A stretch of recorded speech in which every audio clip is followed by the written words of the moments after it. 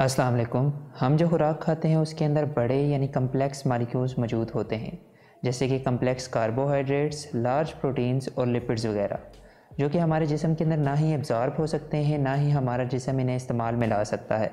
हमारे जिसम के अंदर इस खुराक को छोटे छोटे मालिक्यूल्स यानी माइक्रो मालिक्यूल्स में तोड़ा जाता है, ताकि इन्हें जिसम के अंदर एब्ज़ॉर्ब करके इस्तेमाल में लाया जाए। जिस अमल के ज़रिए खुराक को छोटे छोटे मालिक्यूल्स में तोड़ा जाता है, उसे डाइजेशन कहते हैं।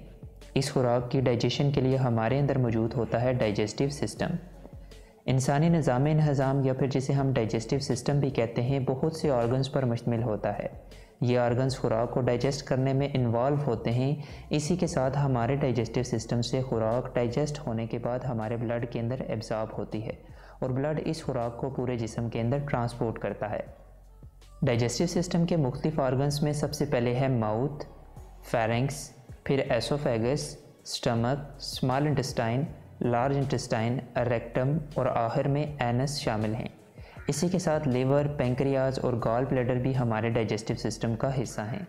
याद रहे कि ये जो मुँह से लेकर एनस तक सारी लॉन्ग ट्यूब होती है, जिसमें mouth pharynx oesophagus stomach small intestine large intestine rectum और एनस आ जाते हैं, इसे एलिमेंट्री कैनाल भी कहते हैं।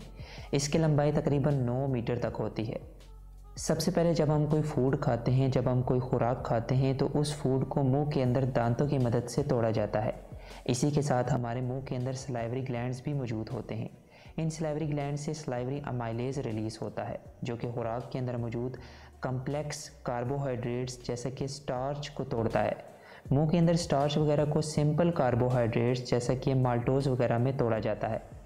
जब खुराक को मुँह के अंदर छोटे छोटे टुकड़ों में तोड़ दिया जाता है तो वो खुराक छोटे नरम मैस में तब्दील हो जाती है, जिसे बोलस कहते हैं। फिर बोलस मुँह से फेरंग से होता हुआ एसोफेगस के अंदर मुंतकिल किया जाता है। एसोफेगस 25 सेंटीमीटर लॉन्ग ट्यूब है। बोलस को मुँह से एसोफेगस के अंदर मुंतकिल करने के अमल को स्वेलविंग कहते हैं। इसके बाद जब फ़ूड एसोफेगस के अंदर पहुँच जाती है तो वो फ़ूड एसोफेगस के अंदर मूव करती हुई स्टमक के अंदर जाती है। याद रहे कि हमारी एसोफेगस स्मॉल इंटेस्टाइन और लार्ज इंटेस्टाइन के अंदर स्मूथ मसल्स भी होते हैं। और इन्हीं स्मूथ मसल्स की वजह से खुराक हमारी एसोफेगस स्मॉल इंटेस्टाइन और लार्ज इंटेस्टाइन में हरकत करती है। और जिस अमल के ज़रिए खुराक हमारे एलिमेंट्री किनाल में हरकत करती है, उस अमल को पेरिस्टेल्सिस कहते हैं।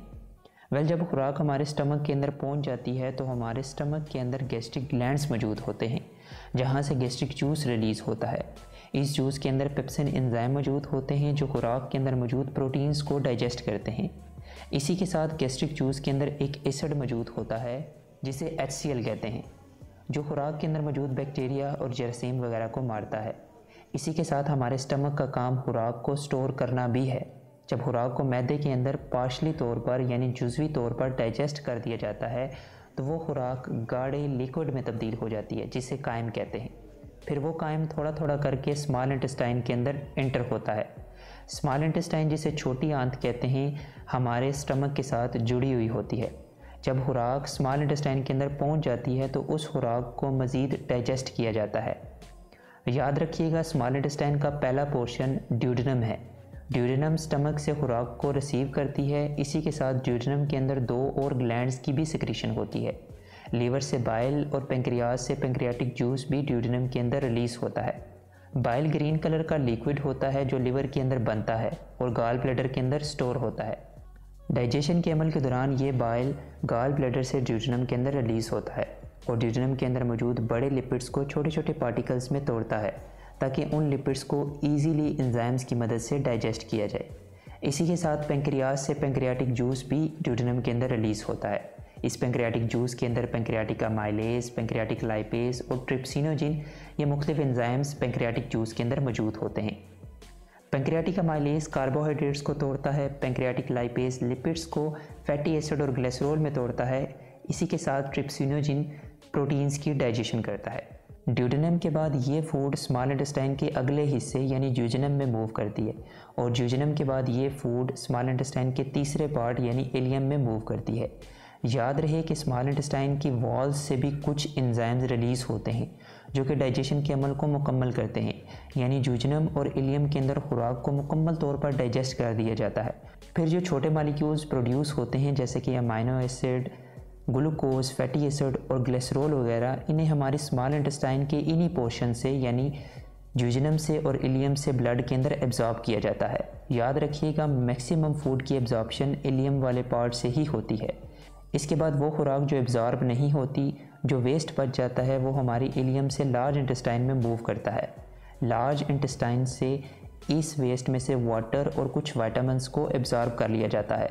जब लार्ज इंटेस्टाइन में से कुछ वाटर और वाइटामस को ब्लड के अंदर एब्जॉर्ब कर लिया जाता है तो वो अनडाइजेस्टेड फ़ूड स्टूल यानी फीसिस में कन्वर्ट हो जाती है। फिर ये स्टूल लार्ज इंटेस्टाइन से रेक्टम के अंदर आता है, जहाँ पर इसे स्टोर किया जाता है। रेक्टम लार्ज इंटेस्टाइन का आहरी हिस्सा है, फिर फीसिस को या स्टूल को रेक्टम से बाहर रिलीज़ कर दिया जाता है।